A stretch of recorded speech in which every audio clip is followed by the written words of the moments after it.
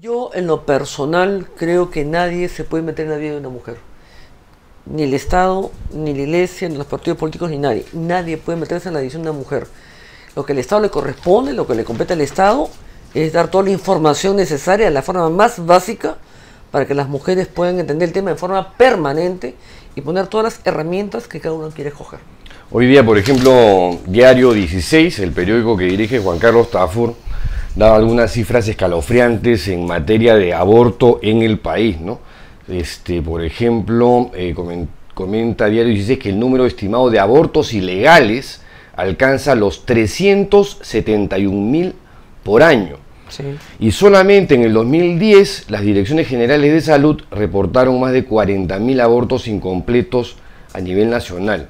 Cifras que conoces, que están ahí. Sí, claro, claro. así es, así es, así es y dice que cada año se registran más de 400 muertes por abortos realizados en condiciones inseguras, ¿no? Porque estas clínicas, pues, este, que no son clínicas, son cuartuchos, son como, como este, este, este garajito, ¿no? Solamente que de, repente un menos iluminado, ¿no?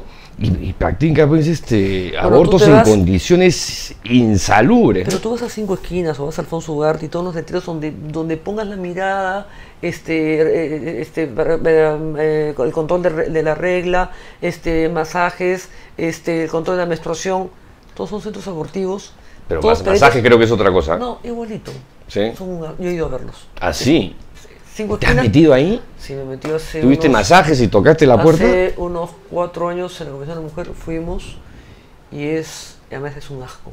Porque desde que tocas el timbre, prácticamente con el dedo, y desde que entras ni rozas en la pared, es un asco. Es un reverendo asco. Entonces, lo practican en cualquier parte, absolutamente fuera de todos los controles, y lo hacen a veces las chicas entre las amigas.